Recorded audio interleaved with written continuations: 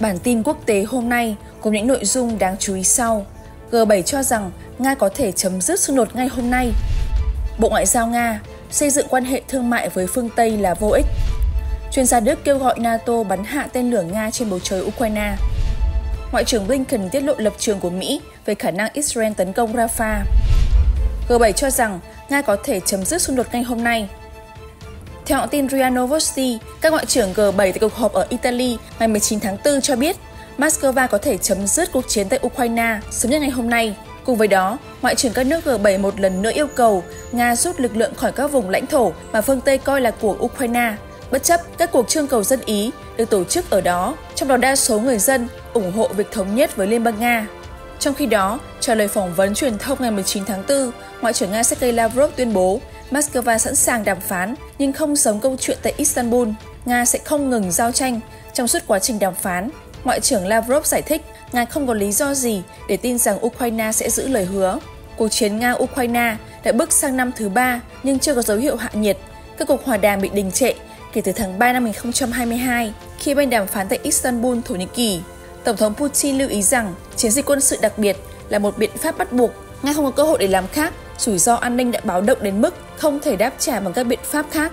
Theo ông Putin, Nga đã cố gắng trong 30 năm để đạt được thỏa thuận với NATO về những nguyên tắc an ninh tại châu Âu, nhưng đáp lại, nước này đã phải đối mặt với sự lừa dối và đầy hoài nghi. Trong khi đó, bất chấp sự phản đối của Nga, NATO vẫn đang dần mở rộng và tiếp cận biên giới Liên bang Nga. Bộ Ngoại giao Nga xây dựng quan hệ thương mại với phương Tây là vô ích. Bình luận về các thông tin liên quan đến khả năng phương Tây có thể tịch thu tài sản có chủ quyền của Nga, người phát ngôn Bộ Ngoại giao Nga Maria Zakharova cho biết phương Tây đã cho thấy sự thiếu tin cậy và thiên vị chính trị và việc tuân thủ các tiêu chuẩn kép, việc xây dựng quan hệ thương mại và tài chính ổn định với họ là vô ích. Nhà ngoại giao này lưu ý, Moscow từ lâu nhận thấy rằng phương Tây vốn đánh mất cả khả năng phát triển cơ sở giả pháp lý cho những hành động cướp bóc của mình, chưa từng bao giờ tuân thủ luật pháp quốc tế và những quy tắc pháp luật của chính họ. Mỹ và các vệ tinh của nước này thực sự đang ở trong tình trạng sắp phá sản và đảm bảo hoạt động của nền kinh tế của chính họ bằng cách tăng nợ và chiếm đoạt tài nguyên vật chất từ người khác đang cố gắng áp đặt các điều kiện của mình cho bất kỳ quốc gia nào trên thế giới. Bất kỳ quốc gia nào ở mức độ này hay mức độ khác phụ thuộc vào thị trường, công nghệ và hỗ trợ tài chính từ phương Tây, vốn cũng có dự trữ ở các khu vực pháp lý phương Tây, phải đối mặt với nguy cơ thua lỗ hoàn toàn nếu người Anglo-Saxon cần thực hiện một dự án chính sách đối ngoại khác hoặc đơn giản là vá víu lỗ hổng trong ngân sách vốn thường xuyên bị thâm hụt, bà Zakharova nói thêm. Chuyên gia Đức kêu gọi NATO bắn hạ tên lửa Nga trên bầu trời Ukraine. Theo tin RT, ngày 20 tháng 4, trong một bài bình luận dành cho kênh truyền hình Das S của Đức, chuyên gia quân sự Đức Nico Lange, một thành viên cấp cao tại Hội nghị an ninh Munich cho hay, NATO đã đến phải sửa chữa sai lầm đất giá và thay đổi chiến lược tại Ukraine. NATO nên sử dụng hệ thống phòng không của mình bắn hạ tên lửa Nga ở sườn phía đông của Liên minh. Phòng không Ukraine vẫn là điểm yếu của lực lượng vũ trang Ukraine. Kênh truyền hình Das Earth chỉ ra, quân đội Ukraine cho rằng cần ít nhất 10 tổ hợp Patriot để bảo vệ một phần lãnh thổ và cần 26 hệ thống Patriot để bảo vệ toàn bộ đất nước. Nhưng hiện tại, Kiev có hai tổ hợp do Đức và Hà Lan cung cấp, chiếc Patriot thứ ba sẽ được Berlin cung cấp vào cuối tháng 6 tới. Trong khi đó, quân đội Ukraine tin rằng đã quá muộn vì Kiev dự kiến sẽ có một cuộc tấn công của Nga vào tháng 5 sắp tới. Vấn đề cung cấp Patriot cho Kiev sẽ được thảo luận lại tại cuộc họp trực tuyến của Hội đồng NATO-Ukraine, nhưng rõ ràng chỉ ba hệ thống sẽ là không đủ. Viện nghiên cứu chiến tranh ước tính Ukraine chỉ có thể đánh chặn được 16% tên lửa đạn đạo từ Nga. Chuyên gia quân sự Nikolai cho rằng phương Tây đã phạm phải sai lầm đất giá khi không cung cấp cho Ukraine hệ thống phòng không hoặc tăng cường sản xuất hệ thống này. Chuyên gia Lange đưa ra cho Liên minh quân sự cách thay đổi chiến lược và các giải pháp phi tiêu chuẩn.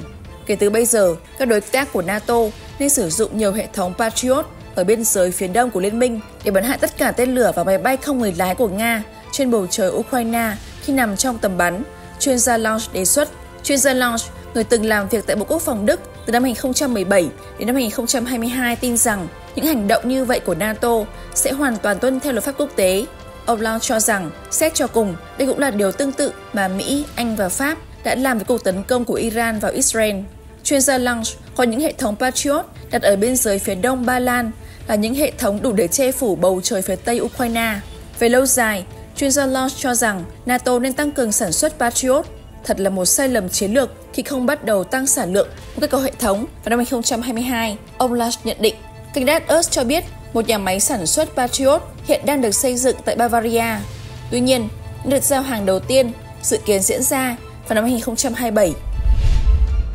Ngoại trưởng Blinken tiết lộ lập trường của Mỹ về khả năng Israel tấn công Rafah. Ngoại trưởng Antony Blinken cho biết Mỹ tin rằng Israel có thể đạt được các mục tiêu quân sự tại Gaza mà không cần xâm chiếm thành phố Rafah, động thái mà Washington sẽ không ủng hộ. Tuyên bố này được đưa ra ngày 19 tháng 4 tại một cuộc họp báo sau hội nghị các bộ trưởng ngoại giao G7 trên đảo Capri của Italy. Thủ tướng Israel Netanyahu khẳng định nước ông sẽ tiến hành một chiến dịch quân sự tại Rafah, bất chấp lo ngại về số dân thường có thể thiệt mạng.